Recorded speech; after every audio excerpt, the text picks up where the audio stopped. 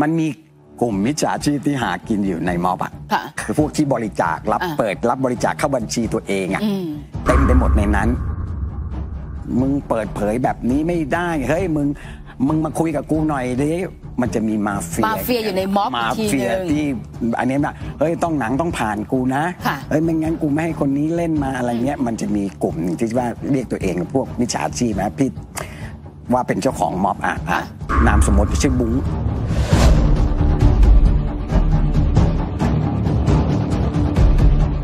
ต้อมยุทธเลิศสิปปภาคผู้กำกับภาพยนตร์ชื่อดังกล่าวในรายการ Top News Talk ถึงกรณีที่เพชรกรุณพลเทียนสุวรรณ สสพรรคก้าวไกล พาดพิงกลับเรื่องเปิดบริจาคเงินเพื่อทำหนัง เกี่ยวกับการประท้วงของม็อบ 3 นิ้วเรื่อง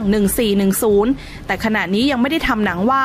เราประกาศในลักษณะหานายทุน หรือผู้ที่อยากเป็นเจ้าของหนัง บริจาคคนละ 100 บาท เพื่อต้องการช่วยเกณฑ์คนไปชุมนุมที่สนามหลวง ซึ่งภายในหนึ่งสัปดาห์มีคนโอนเงินถึง 1 ล้านบาท แต่มีพวกมิจฉาชีพที่หากินอยู่ในม็อบ คอยเปิดรับบริจาคเข้าบัญชีตัวเองเต็มไปหมด เมื่อเห็นตนได้รับบริจาคและเปิดเผยเรื่องรายละเอียดเรื่องเงิน ก็มีมาเฟียมาบอกว่าตนเปิดเผยเรื่องแบบนี้ไม่ได้ และหนังต้องผ่านเขาก่อน ไม่งั้นไม่ให้คนนั้นคนนี้เล่นหนัง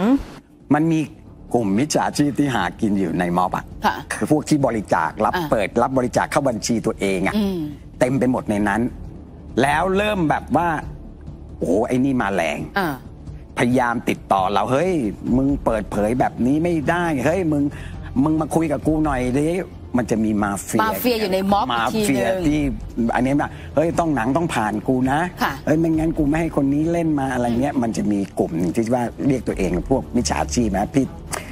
ว่าเป็นเจ้าของม็อบอะอะนามสมมติชื่อบุ้งชื่อบุ้งอันนี้นามสมมุตินะนามสมมติชื่อบุ้งเนี่ยมันทำตัวอย่างนี้อยู่แล้วก็ ก็เลยเกิดขัดแย้งกับพวกนี้พี่ก็เลย ปิดรับเงินค่ะพอได้มาล้านกว่าบาทปิดรับเงินเลย ต้องมาทะเลาะกับพวกนี้ก่อนอ่า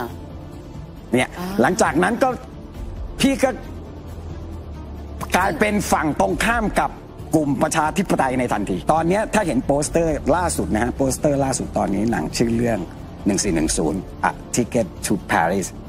ตั๋วปารีสนั่นเองนั่นเองเอออันเนี้ยคือพี่บอกว่าอาสรุปแล้วล่ะทำเรื่องนี้แน่นอน เพราะเพราะพี่ว่าเพราะว่าคนที่ คือคือสร้างจากเรื่องจริงคนคนที่รู้เรื่องตั๋วปารีสที่เอามาแฉเนี่ย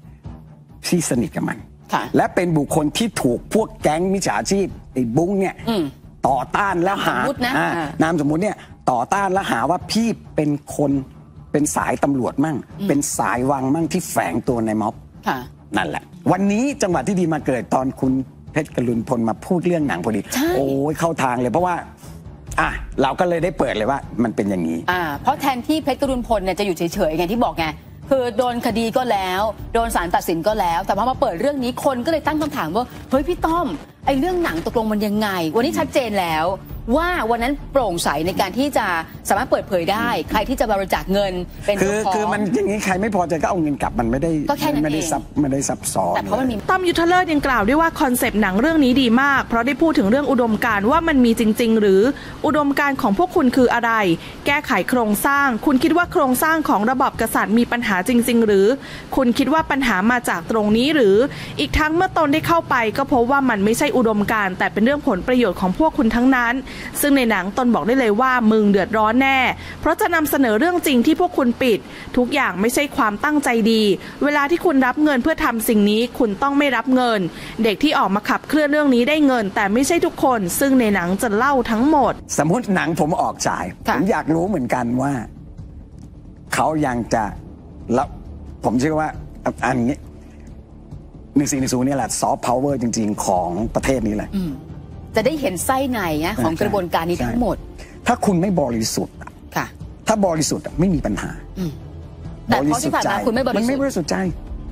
มันเต็มไปด้วยผลประโยชน์ มันเต็มไปด้วยความเข้าใจผิด มันเต็มไปด้วยความอคติ มันเต็มไปด้วยที่สำคัญ มันเต็มไปด้วยความหยาบคายอืมคือสัมมาคารวะค่ะความนอบน้อมคือ มันไม่มีเอาง่ายๆคือเอางี้หรกมาเฟียญี่ปุ่นเนี่ยเขาโหดมากนะค่ะ แต่เขานอบน้อมมาก แต่มาเฟียในม็อบถอยเรียกคือมันแบบ แล้วใครจะยอมมึงอะอ่าเข้าใจปะค่ะใครจะยอมมึงอ่าทุกอย่างมันคือกระบวนการถูกวาทกรรมจากคนที่เรียกว่านักการเมือง ปลุกระดมความคิดปลุ กล้วนๆเยาวชน แล้วผลักเยาวชนมาข้างหน้า เพื่อให้ทุกอย่างเนี่ยมันเกิดรูปธรรมรูปธรรมที่เขาต้องการ และผลประโยชน์กลับมาที่พวกเขา เหมือนวันนี้สิ่งที่เกิดขึ้นกับพี่ต้อมยุทธเลิศกรณีข้อพิพาทระหว่างนายเพชรกรุณพล แล้วก็ไอรักชนก มันก็เกิดประเด็นเรื่องนี้เหมือนกัน การรับข้อมูลที่ผิดมาค่ะ แล้วบวกกับ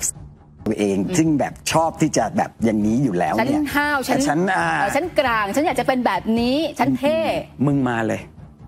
นะมึงมาเลย เพราะว่ากูมีชุดข้อมูลที่ถูกต้องค่ะกูไม่ใช่คนที่เล่นการเมืองแบบ left and right อืมกูไปเล่นการเมืองแบบ right and wrong ค่ะ